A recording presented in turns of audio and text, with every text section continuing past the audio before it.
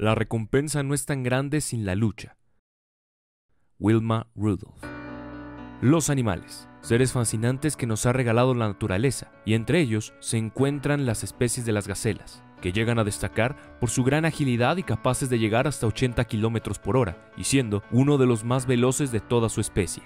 Esos dones los tuvo una atleta mexicana nacida en el estado de Sonora, de nombre Ana Gabriela Guevara, una de las deportistas mexicanas que ha cautivado los corazones de millones con su esfuerzo y dedicación por lo que ha conseguido en las pistas de atletismo.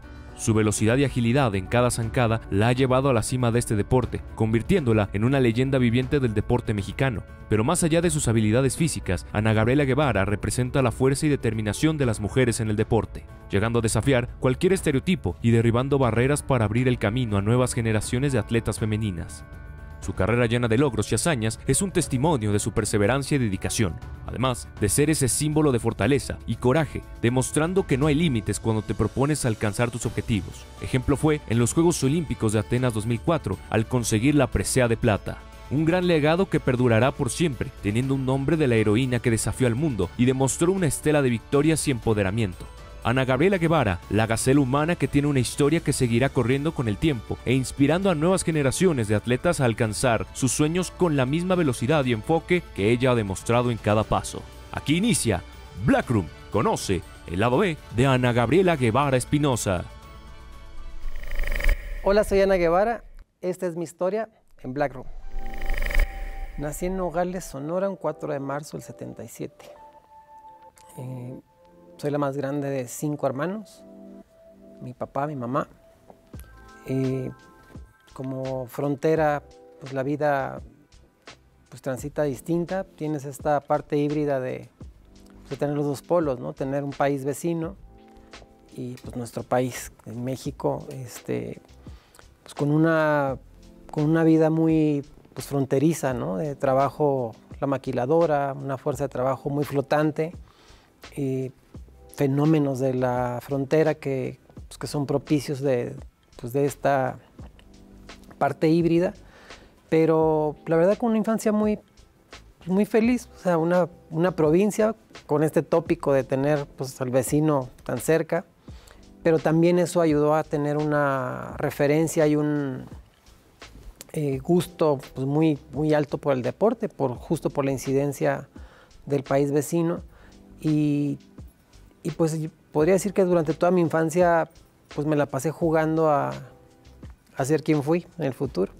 Bueno, primero empieza por, por mis primos. Tengo familia que vive en Estados Unidos, entonces mis primos pues iban a high school y luego pues los que siguieron estudiando seguían el colegio y demás. Y, entonces todos los años cuando venían a ver a mi abuela le traían sus diplomas y sus trofeos de, de todos los deportes que practicaban en la escuela, ¿no? Entonces eh, algo novedoso que era pues no se practicaba en ese momento tanto en México como se practica hoy el fútbol americano, entonces era algo como wow, ¿no? Entonces venían este, sus cuadros con el deporte, con el equipo completo y luego los, todos los palmares que lograban de, de, tema individual y demás. Entonces empezó como esta inquietud de decir, yo también quiero, yo también quiero hacerlo. Y posterior a esto vino, eh, pues ya en, en la escuela la pues el encontrarme con un elemento que fue el balón de básquetbol. Entonces empezó con el básquetbol. Y pues llegué a selección local, llegué a ser seleccionada de Nogales, representando Nogales en estatales y después fui seleccionada a Sonora. Y ahí fue donde se, se causó el, el, vamos a decir, el quiebre para, hacer, para cambiar al atletismo, justo porque nunca me llamaron a selección nacional de, de básquetbol. Entonces mi sueño era ser seleccionada nacional de básquetbol crecí en esta parte de mi infancia de, pues de los 7 a los 11, 12 años, de, pues mucho movimiento deportivo en el país, ¿no? Teníamos los mejores momentos pletóricos de Fernando Valenzuela en las grandes ligas, eh, las mejores peleas de Julio César Chávez, el Mundial del 86 de fútbol, pues estuvo Quirarte, este, Hugo, el Vasco, Negrete, toda esta generación que formó esta delegación, eh, este equipo que representó a México en el Mundial del 86. Entonces hubo como mucha incidencia en, la inspiración de querer ser selección nacional. Y así fue como sucedieron las cosas en, esta, etapa donde pues sí, efectivamente estaba en un lugar donde no había condiciones, pero, pero pues bueno, el futuro tenía marcado otro destino y, pasó. Pues fue un proceso complejo porque, porque empiezan las presiones, ¿no? primero la familia, después un poco lo social. No me costó tanto, tanto trabajo lo de baloncesto porque eh, había dos seleccionadas nacionales de baloncesto que eran de ahí, de mi tierra, Olivia y Oralia Carrillo, cuatas las dos. Y fueron, vivieron ellos la parte, pues la dorada del, del baloncesto mexicano, ¿no? Cuando estuvo a punto de clasificar a los Juegos Olímpicos de Barcelona, este, y venía una generación muy fuerte, estaba el Sahayachi, este, varias que estaban ahí en, esa generación. Pero entonces no me costó tanto en lo local, porque pues ellas eran las figuras seleccionadas nacionales del deporte local y pues con una larga trayectoria dentro del baloncesto. Pero de todas maneras eso no mermaba que pues sí había una, una constante de, pues mis tías y, en, familia que le decían a mi mamá no la dejes, este, ya sabes, todos los mitos que generan alrededor del deporte, de que hay miles de cosas nocivas y no sé qué, y entonces se va a hacer, y entonces lo va a provocar, y entonces, ya sabes, todos los mitos estos que existen. Pero al final eh, mis padres entendieron de que era un deseo y un anhelo auténtico, ¿no? Decir, a ver, yo, quiero esto y quiero hacerlo. Y, y justo, eh, pues mi papá, que siempre fue el que más me inculcó el, pues atrévete, atrévete y ve, y ve, y ve, y ve, y ve, este, pues no tenía cómo este, contrariarme en lo que pues ya prácticamente había empezado. Entonces, eh, pues fue decidida lo que como fuera, ¿no? Y como viniera, porque al final de cuentas se vuelve parte del proceso. Y, pues también eh, adaptarte a los cambios, o sea, todos los cambios que esto, que esto implica. Y creo que en el tiempo se vuelve a repetir otra vez la historia, porque aun cuando cambia el atletismo, pues viene todo este juicio, ¿no? De el cambio del físico y que pues, era un notorio la diferencia entre el resto de las disciplinas deportivas, pero pues, bueno, cuando vas al mundo dices, pues todas estamos iguales, o sea, no hay otra forma de hacerlo, ¿no? Pero, pero pues se va volviendo como parte hasta que termina siendo aceptado, pero yo creo que a la par de lo que estaba sucediendo conmigo, pues estábamos viviéndolo muchas en el proceso, porque justo yo creo que se da esta metamorfosis y este cambio de percepción del deporte mexicano, pues yo creo que a partir del 96, 2000, donde pues tomamos prácticamente el estandarte del deporte de las mujeres, pues estaba Belén Guerrero, Nancy Contreras, Adriana Fernández, este, Nora Leticia Rocha, eh, el taekwondo con Mónica del Real, este, vaya, había una generación de mujeres protagónicas del deporte y, y pues te repito, yo creo que vivíamos una misma situación, la propia Soraya, este, pues de juicio y de señalamiento, ¿no? Pero al final de cuentas fue cambiando al grado que hoy vivimos pues una misma situación porque se sostuvo esta situación, ¿no? Y el equipo que va a París, el 66% son mujeres y el, resto son hombres. Ese cambio se da primeramente por la ilusión de ir a los Juegos Olímpicos. Y, yo creo que el, ingrediente diferenciador de ello fue una vez que se da el encuentro con Raúl Barreda. Raúl me hizo soñar despierta desde el principio de que, de que esto era posible y que era real. Yo creo que un ingrediente importante de, esta relación atleta-entrenador pues es tener la confianza plena que lo que estás haciendo y lo que vas a empezar a hacer, porque es un trabajo arduo, no es un trabajo, vaya, no es un videojuego ni tampoco es una, una situación pasajera. Es un trabajo de día y de noche. Se come, se descansa y se alimenta para entrenar. Entonces, que te logre convencer, pero luego después del convencimiento vengan los resultados y los, los primeros este, flachazos de que esto sí puede ser posible, pues yo creo que eso fue lo que, lo que marcó la diferencia. Ahora, creo que también el crédito es de Raúl de, de renunciar a a todo y decir, aquí lo que va a prevalecer y lo que va a hablar de ti son tus resultados. Entonces creo que a partir de ahí se volvió como un automático, o ahora sí como dijera la, la frase célebre, ni los oigo ni los veo. Pero yo creo que cuando, cuando ya pasaste por ciertos procesos del deporte, te jala la parte competitiva. O sea, si ahorita nos pusiéramos aquí entre la producción y demás, y decimos, a ver, saquemos toda esta sala y armemos una cascarita con una pelota de, de, de golf, pues se arma la cáscara, ¿no? Entonces sacamos nuestra parte competitiva y, y, y, el impulso te lleva. Y eso fue lo que pasó conmigo en, el, en, esta transición. Me explicaron así de como si fuera movimiento de ficha de ajedrez.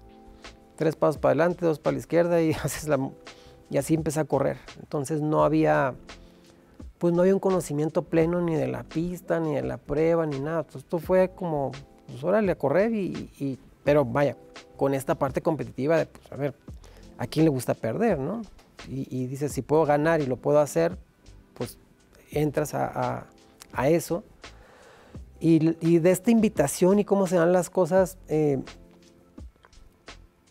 no era mi intención quedarme.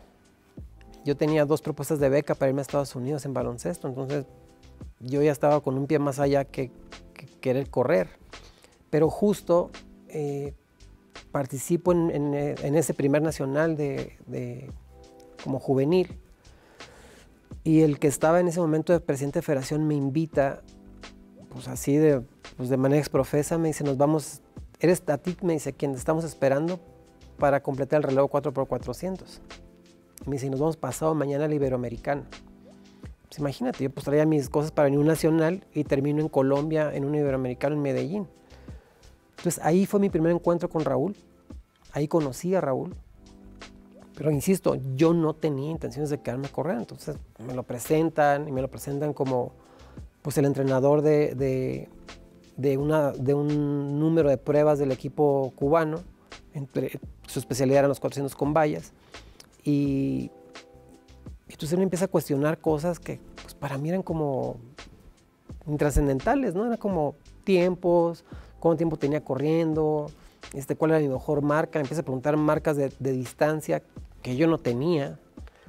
Este, pero bueno, total que me acuerdo que veladamente me comentó ahí de pues yo me voy a ir a México y pues, mi interés es quedarme en México. Y yo, pues, pues bien, este, pero yo no entendía nada, vaya. Entonces al final eh, termina ese año 96 y en el 97 él ya está en México.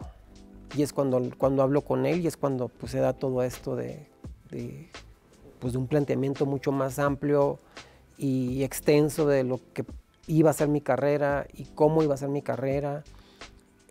Y pues realmente me puse a soñar despierta. Pues es un proceso de, de, adaptación y eso Raúl lo supo hacer muy bien, o sea, llevarme poco a poquito porque yo prácticamente pues ahora sí que hasta ese momento había surgido solamente de talento, más aspirar y desear eh, mejorarle al reloj y, y, convertirme en esa, pues en esa atleta de calidad, quedaba mucho trabajo todavía por, por hacer y Raúl fue llevándome poco a poquito, eh, tenerme que adaptar al tema de las pesas, más resistencia, más pista, y con todas las dolencias que esto implica, ¿no? de, de, adaptarte a correr la pista, porque todo el mundo ve la pista y piensa que es como, pues como agarrar un elemento, ¿no? una raqueta de tenis o un bat de béisbol o, o, una pelota de boli que pues simplemente le pegas o haces swing y, y, no, la pista es otro, es otro tema, o sea, es, es una adaptación que requiere tiempo para ir eliminando y que el cuerpo se vaya adaptando a las dolencias de meterte a la pista. Entonces sufrí de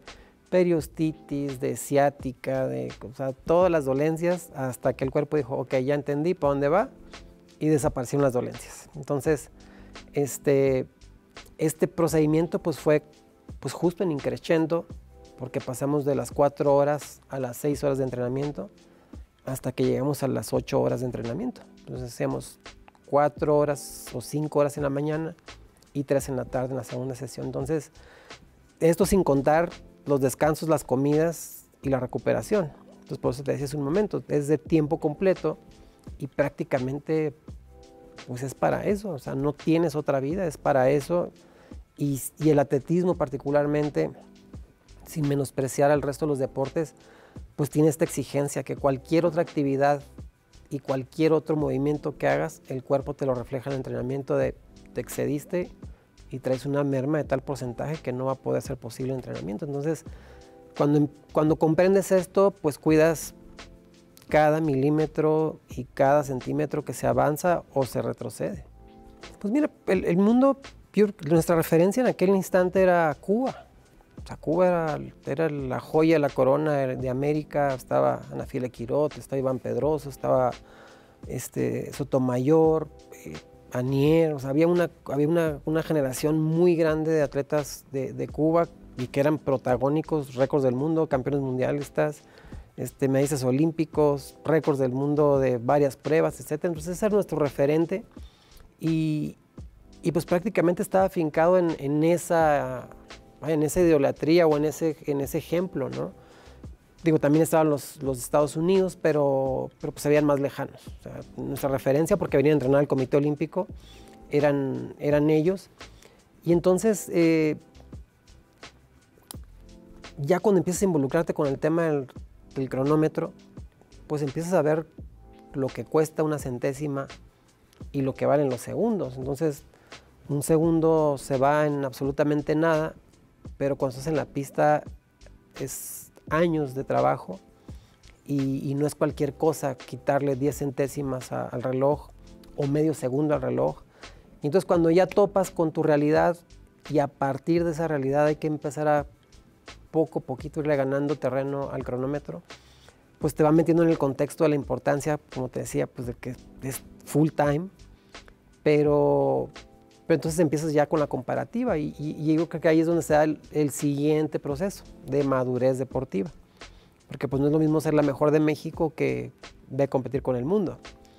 Y, y entonces pues ya empiezas a familiarizarte con, pues, con esta competencia, ¿no? Quiénes son las rivales a vencer, etcétera. Pero yo creo que detrás de ello, eh, el primer convencimiento satisfactorio y, motivador fue la, primera medalla panamericana en Winnipeg. Yo creo que ese fue el despertar de, decir, sí es posible y, y, esto pues no está, no es una locura lo que escribió este señor en el plan. Entonces, logro la primera medalla Panamericana y clasifico a los Juegos Olímpicos de Sydney, Australia en el 2000. Entonces creo que ahí fue como este primer despertar. Llego a los Juegos Olímpicos sin ninguna expectativa de nada y, termino en quinto lugar en esos Juegos Olímpicos. Entonces fue pues prácticamente una travesía vertiginosa del 96 al 2000 lograr llegar a esa final. Yo creo que fue un cúmulo de, situaciones, ¿no? O sea, como bien lo decías hace, hace un momento, pues no es que fuera rebelde con causa, pero, pero pues siempre fui como muy disruptiva de lo que, lo que había en ese momento. Este, me acuerdo que en el 97 me pinté el pelo verde como Dennis Rodman, este, usaba las uñas amarillas al principio. Eh, y, rompía un poco con el esquema este de, pues de, lo que, de, lo que, se había visto hasta ese momento, ¿no? Y en atletismo en aquellos años recordemos que lo que, lo que hacía lucir al país y lo que prevalecía en el atletismo de México pues era la caminata. Entonces el resto de las pruebas pues era muy a cuentagotas y, y vaya, el referente inmediato de ese momento era Alejandro. Pero al final eh, pues el efecto surtió de que pues me voltearan a ver y, justo nos tocó ser a nosotros eh, esa parte del, cambio de, trabajo para con los atletas. ¿no? Nosotros fuimos los puntas de la lanza de las becas, los viajes, lo que hoy existe en el deporte, a nosotros nos, nos tocó ser la punta de la lanza. Entonces, eh, en ese camino hacia el 2000 de, pues de ver a una Katy Freeman que venía a hacer plata en los Juegos Olímpicos de Atlanta, a, a, hacer el, la admiración primero, después el objetivo, y después darme cuenta de que dije, a ver, somos seres humanos todas. Y lo que hacemos, lo que hago yo en México, lo hace ella del otro lado del mundo, y lo hacen las europeas, y lo hacen, es lo mismo para todas. Entonces, me ayudó mucho ir a competir a Australia y estar compitiendo cerca de ella. Y siempre quedaba yo en segundo lugar, siempre yo en segundo lugar. Y eso acrecentó y afianzó mi seguridad de decir, es que sí es posible llegar a esa final. Porque, pues porque verla tan cotidianamente y, darme cuenta de que pues no había gran distancia ni tampoco había este, ningún secreto oculto detrás de lo que se entrenaba y de lo que se hacía, pues así llegó el convencimiento de los Juegos Olímpicos. Y, también pagué la novatada de, pues de la novatez, vaya la redundancia, de, pues de que ese quinto lugar pudo haber sido medalla, pero pues pagué la novatada.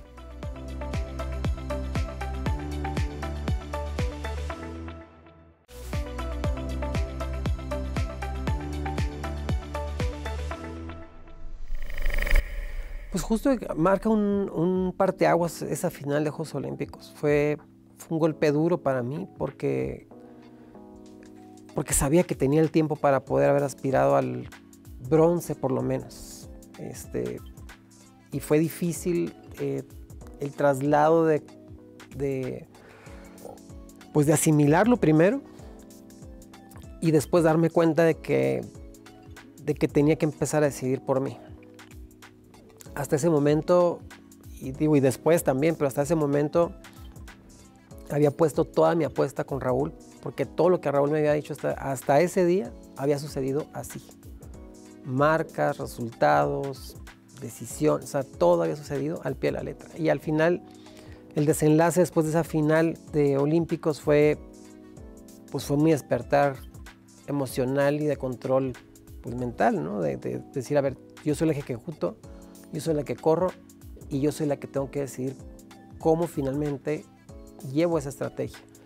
Él ya me había enseñado pues a escudriñar la prueba y, entonces eso me llevó a una analogía de eh, si despedazo la prueba durante el entrenamiento, dije, ¿por qué no lo puedo hacer durante la competencia? Entonces vino este, esta decisión, no hubo ruptura con Raúl, nunca hubo una fricción, y, nunca fue un tema hablado per se, o sea, fue una decisión que tomé yo, yo seguía haciendo lo mismo que siempre, pero empecé a decidir y entonces empecé a ganar más.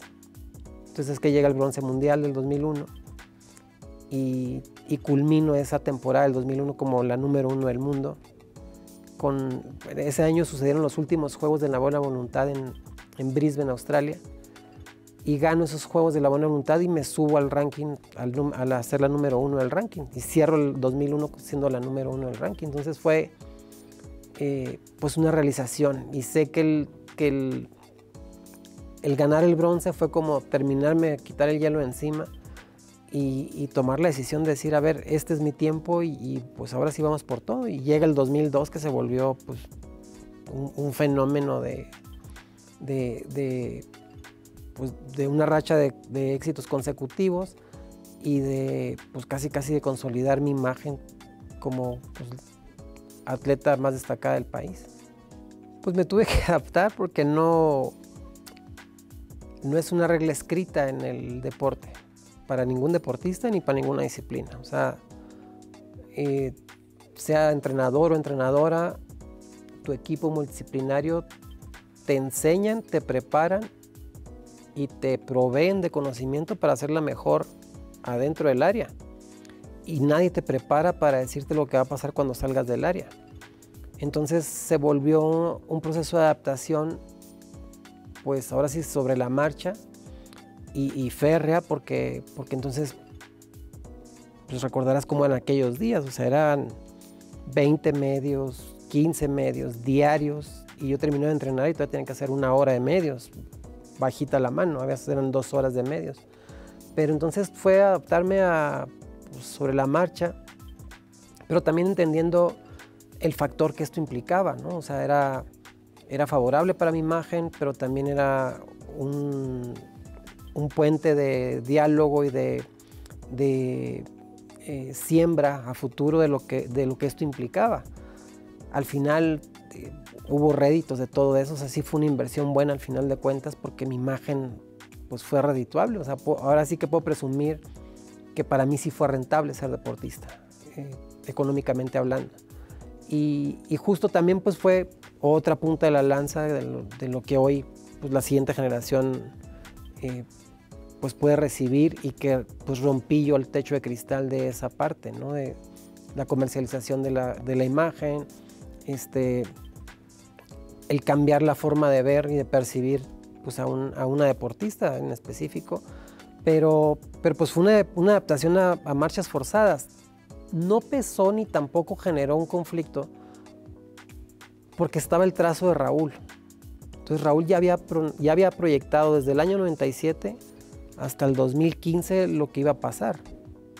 Entonces, para mí no era eh, ningún momento de zozobra ni tampoco había como esta incertidumbre de decir, bueno, ya acaba este año, pues a ver cómo nos va el año que entra, ¿no? O sea, yo cada temporada tenía mis 20 días, 30 días de descanso y yo regresaba porque ya había otro objetivo.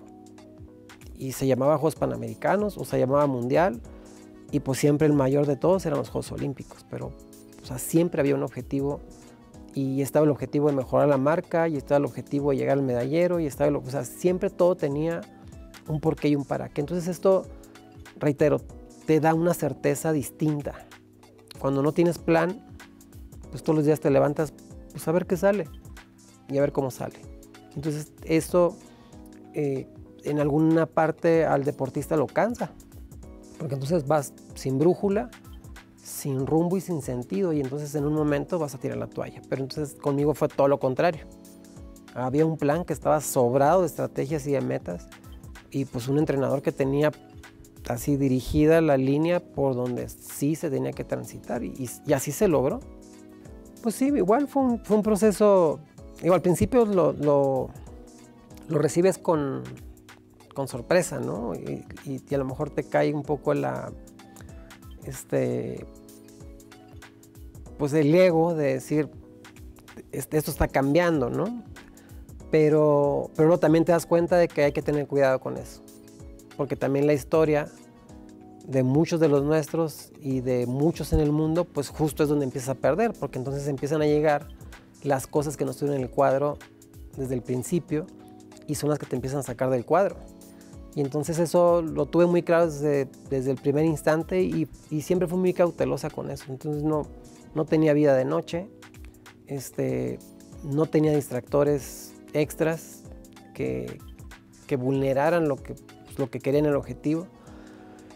Y sabía que después iba a haber tiempo para eso, ¿no? O sea, ahorita este es un proceso único y, pues ahora sí que en la añoranza de que hoy tengo 46 años y si me preguntaran, ¿puedes rebobinar la vida para, pues me volvería sin duda a meter entre los 18 y los 23 años, pero sin duda, o sea, la, la parte de la edad más plena que se tiene y que, y que más disfruté, ¿no? Yo creo que de, esa edad a los 26, que fue cuando logré el campeonato del mundo y después los olímpicos, me divertí mucho, la verdad, y no me...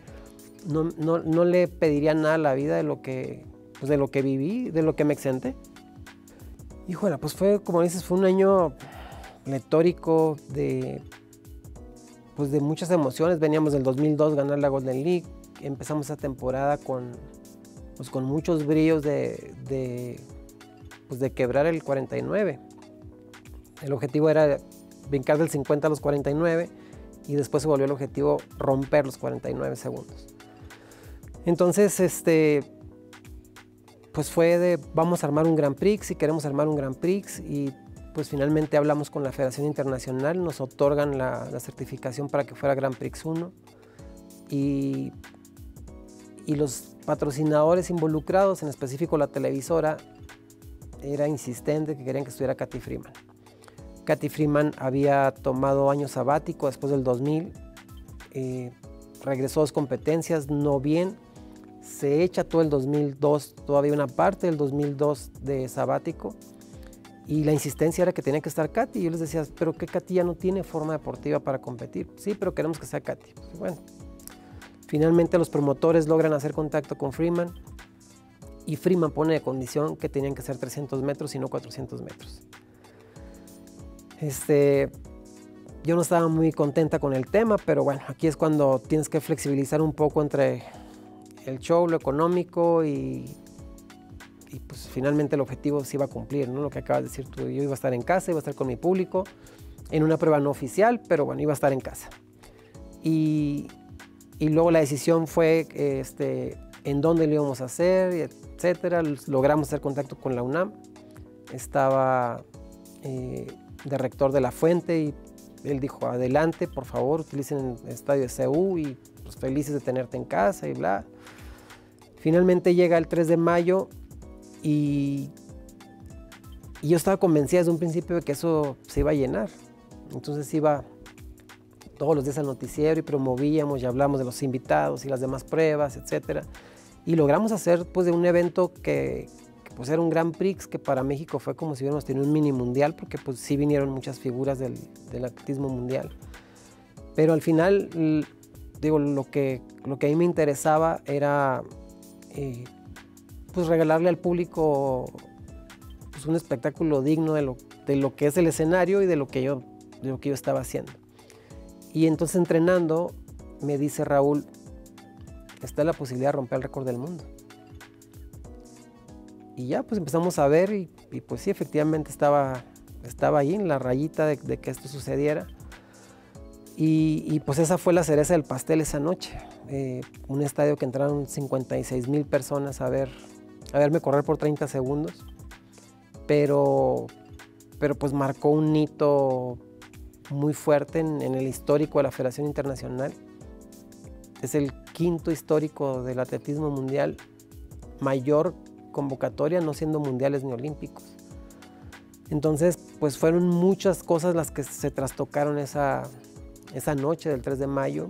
Se logró el récord del mundo, este histórico, eh, y me ponía a mí en otra, pues en otro contexto a nivel internacional era pues el fenómeno de Ana Guevara en México y de América Latina, porque entonces pues ya no, ya no solamente se quedaba en México, sino ya trastocaba a América y, era este fenómeno de qué, está pasando en México con Ana. Entonces fue, la verdad que fue muy, muy grato y fue un gran impulso para lo que venía siguiente en la temporada, que pues en el camino los Panamericanos de Santo Domingo y posteriormente el Campeonato del Mundo. Pues, son, son estímulos y son golpes de emoción muy fuertes, o sea, estar ahí y tener un estadio que está contigo son, pues son momentos únicos. O sea, no, o sea, no se viven, ahora sí que no se viven todos los días.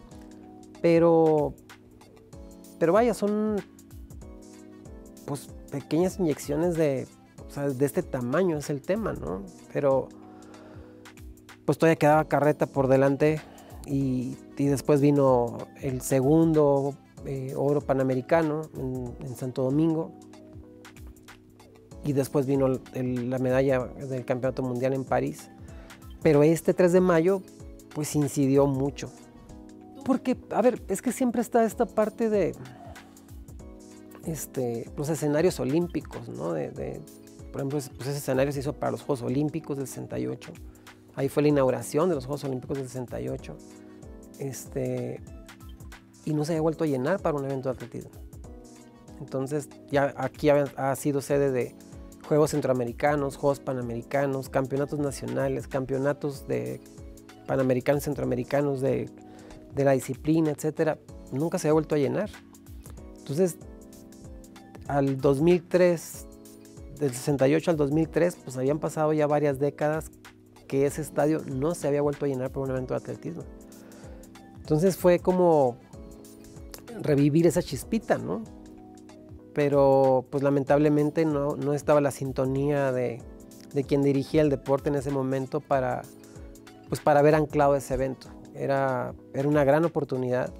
La Federación Internacional decía, es digno de que México se quede con este evento. Después de lo que habían visto, decían, es que, que esto camina solo ya.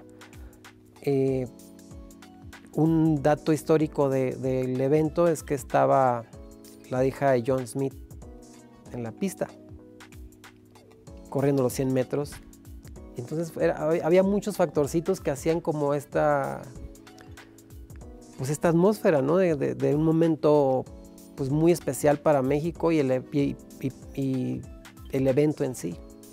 Yo, para ese momento, eh, pues yo llegué al mundial, decidí que iba a recoger mi medalla. Eh, había había sostenido mi liderato durante toda la temporada y yo solamente me decía, vuélvelo a hacer, hay que recoger la medalla. Obviamente nunca demerité a mis rivales. Lorraine Fenton pues siempre luchó por, por, por vencerme. Estaban las rusas también, las alemanas que no eran cosa sencilla. Estados Unidos pasaba por una época flaca del, de la prueba, pero pues realmente de, quien me tenía que cuidar era Lorraine Fenton. Ella era la que, la que el único peligro que había cercano. Pero, pero pues fue disfrutar de la competencia, o sea, saber que eso iba a pasar y tan enfocada estaba y tan físicamente bien estaba que pues fue cuando logré romper mi mejor marca y, y, quebré el, el, 49, corrí 48, 89, que fue, es hasta hoy mi mejor, fue mi mejor marca personal. Y es como eh, hacer una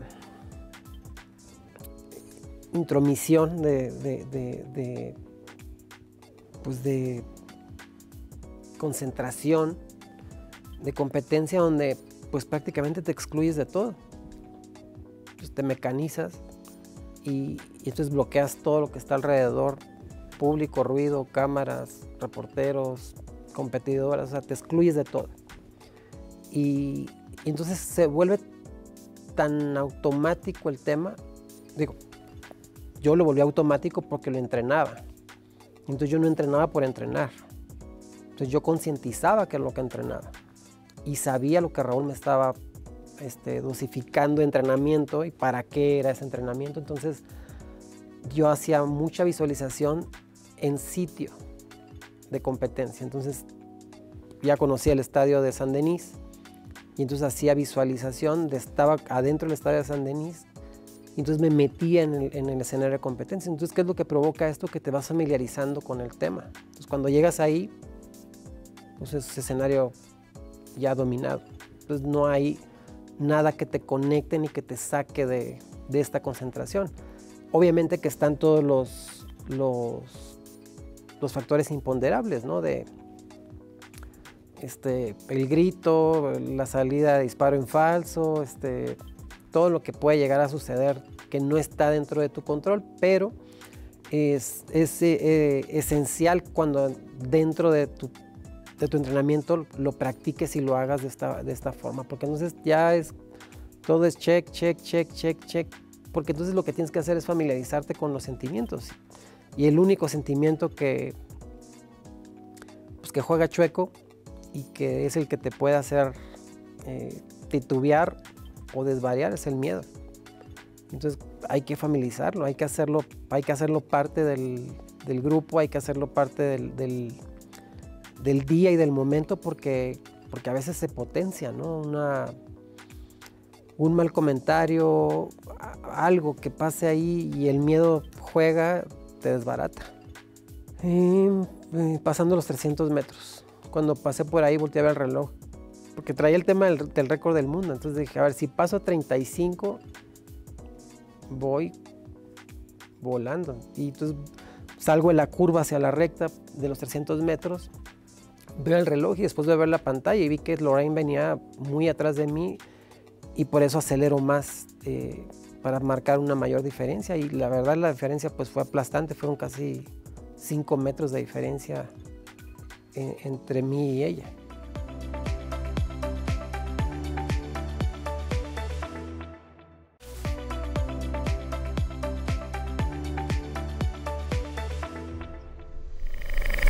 No, no me, o sea, sí, sí, porque crucé la meta sabiendo que había ganado, pero no había visto la marca. O sea, yo empiezo a festejar sabiendo que había ganado y cuando cruzo la meta, entonces yo estoy volteando hacia donde estaba la curva, hacia donde estaba la pantalla, pero porque ahí estaba mi mamá. Entonces yo estaba saludando a mi mamá. Y en eso empiezan a aparecer los tiempos y aparece tiempo extraoficial eh, 48.90. Y ahí fue cuando yo me sorprendí, dije, ¿qué? ¿Cómo? La verdad no me di cuenta que corre 48 segundos. Y, ya después, pues, ya en ese momento se acercan las rusas y me felicitan. Este, y ya pues, me dan la bandera y empiezo a dar la vuelta del festejo. Pero, pero son de esas cosas que cuando te sorprendes a ti misma decir qué nivel de concentración tenía y todavía preguntarme qué hice. No, no era común eh, y, honestamente te, digo, no, no, lo puedes asimilar. Es muy difícil asimilarlo y, es un juego muy peligroso y perverso porque, pues porque no, no, hay forma de procesarlo. O sea, a ver, si, si te metes a un estadio y hay 56 mil almas y pesa, pues cuando dices hay más de 56 millones de personas, que no eran 56 millones, eran 90 millones, este, no hay forma de poderlo procesar. Es muy difícil y la prueba es que pues hoy los gadgets que manejamos, celulares, tabletas y demás, ni esos aparatitos son capaces de procesar tantos millones. Entonces, lo cual indica que, pues, que el cerebro humano no está capacitado tampoco para hacerlo. Y ya, pues justo este año se cumplen 20 años de, bueno, ya 21 del Campeonato Mundial, 20 de la medalla olímpica. Y a 20 años de distancia sigo levantando todavía cosecha de felicitaciones y recuerdos de que cada quien lo vivió de diferente manera. Entonces es cuando comprendes eh, legado. Y, pues se quedó marcada una, generación pues con, esos, con ese hecho. Hoy, hoy que estoy aquí en la, en la dirección de la Comisión Nacional del Deporte, pues me toca ver atletas que cuando eso pasaba tenían 10 años. Y me dicen, pues a mí me tocó verte correr, unos me tocó ver en televisión, otros les tocó verme en vivo. Pero entonces como tener esta referencia, porque cuando estás ahí te dicen el legado, no entiendes qué es el legado. Es muy difícil, o sea, vislumbrar lo que en el futuro va a implicar un día como el 3 de mayo, este, un día como el Campeonato del Mundo o la medalla panamericana. No sabes, o sea, no sabes porque no sabes tampoco qué trastocas y qué motivas o qué desmotivas. O sea, que pues, hay para los dos lados. Pero eh, a la distancia es cuando comprendes qué implica el legado. Y, justo es pues, la importancia de que lo que hoy estás haciendo no puedes dejar en balde de que pues, va a repercutir. Pues mira, hay ya en, la parte médica pues siempre se quedaron las dudas de qué lo provocó. Eh, las conclusiones fue una ingesta alimenticia y la otra fue un medicamento que generó el malestar en el tendón de Aquiles y, pues se presentó muy temprano, fue enero del 2004 que llega la, molestia y se volvió una tortura, porque entonces pues todo lo que había sido este, miel sobre hojuelas y, y, había sido todo diversión y todo fiesta y todo este, gusto y demás y diversión, pues llega, llega justo lo que dices, pues es la parte compleja de cualquier deportista. Y lo sufrimos todas y todos, profesionales, no profesionales, consagrados, no consagrados, todos, todos padecemos este, este acecho ¿no? de, la lesión muscular o, ósea o lo que sea, pero, pero al final la verdad que no me, eh, ¿cómo decirles? No me no me pesó el, tema. Yo creo que tengo que mucho que agradecer de, ese proceso porque, porque me ayudó a madurar muchas cosas que, como lo dije hace un momento, pues había sido pura diversión y todo había sido wow, wow, wow, y gano, y gano, y gano, y todo parecía como que iba eh, siempre igual, igual, igual, y de repente, o sea, la vida o Dios o como le queramos hablar al universo, este, pues me puso a prueba con esto y, fue pues una de las temporadas más complejas que tuve que, enfrentar y, sobre todo que el enfrentarme contra mí, porque ya el tema ya no era la competencia, era contra mí. Saber que tenía que hacerlo y, y sacarlo adelante, porque pues no había opción, nomás había tres opciones, no ir, ir solamente por estar y verdaderamente lograr un metal. Y a mí la verdad que, aunque haya sido una plata, para mí esa medalla tiene eh, un sin sabor y sin color por lo que, por lo que hice. Y, la contestación de esto es, yo nunca había llorado en, pues, en ningún podium, ni ninguna, o sea, ninguna competencia, ningún resultado, nunca.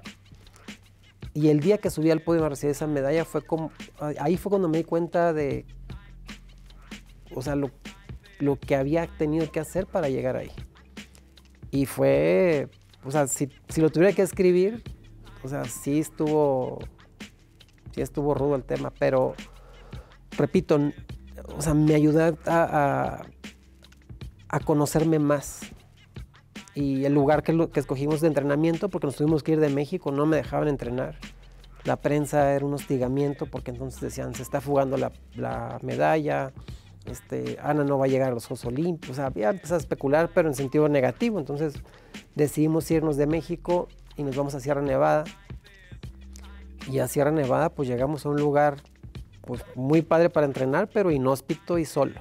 Entonces llegamos a un deportivo donde nomás habíamos nueve atletas del mundo, unos chinos, unos rusos, una finlandesa y yo y pues no había más, no había televisión, no había internet, no había radio, no había nada. Entonces era un retiro espiritual eso, deportivo totalmente, pero, pero ayudó mucho. O sea, yo creo que si no hubiera sido por esa decisión, eh, sí hubiera menguado el, el, haberme quedado aquí. A ver, yo creo que lo más difícil fue tener que entrenar con dolor, hacerlo con dolor y, y aguantar dolor. Entonces ya no había, o más bien ya no cabía la posibilidad de una ingesta médica mayor a la que estaba teniendo en ese momento para tratar de, contener el dolor. Y entonces el, punto de quiebre fue un día Raúl, con la frialdad de los números, le pega a la mesa y dice, si seguimos entrenando a este nivel, no hay medalla, no hay final. Y yo, ¿cómo que no? Me dice, no, pues estás entrenando a un setenta y tantos por ciento de lo que harías de estar entrenando en este momento.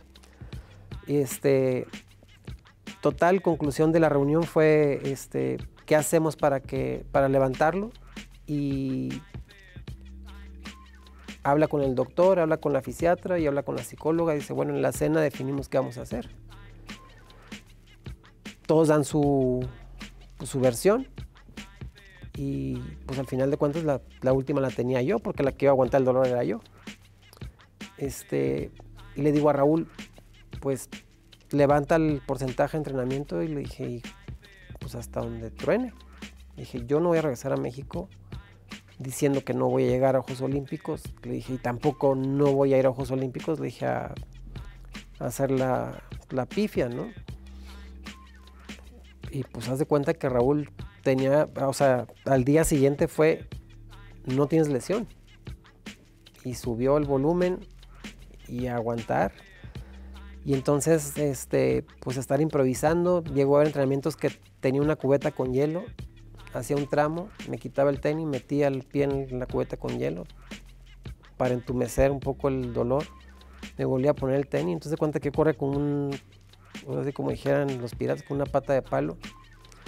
Y, y aguantar, y aguantar, y aguantar, y aguantar, y aguantar. Y, y así, y así llegué a Juegos Olímpicos faltando dos meses para Juegos Olímpicos, fue una verdadera proeza de, pues, de lo que se logró hacer.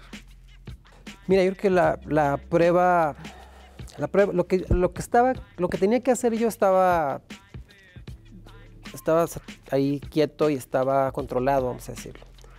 Lo que no está controlado era lo que estaba girando alrededor del, del tema. Entonces, eh, recordarás que la última competencia previa de Juegos Olímpicos que me enfrento a, Tony Williams en Gateshead, en Inglaterra, ahí pierdo el liderato del ranking.